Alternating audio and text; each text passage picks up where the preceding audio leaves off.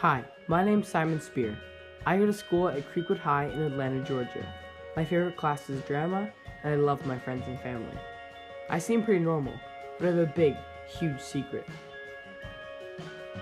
I'm gay, and no one knows. I'm not ashamed of it, I just don't like how it's a big, emotional, crazy thing. If straight teenagers don't have to come out to their parents, why should I have to? Anyways, meet Leah and Nick.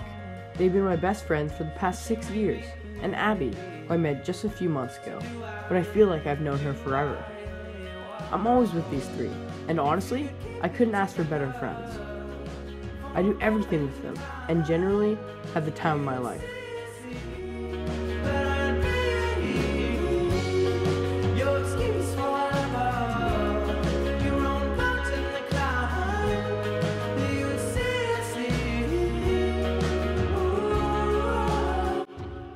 However, there is someone I didn't introduce to you, and well, I'm not sure how to, because I don't know his name, and I don't know what he looks like.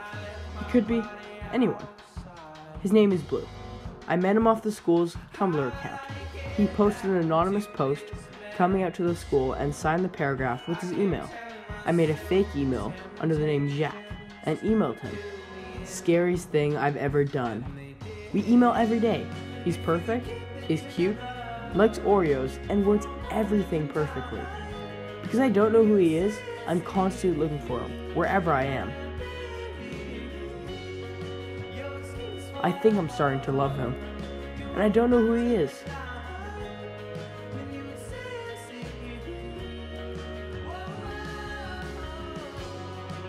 Until now.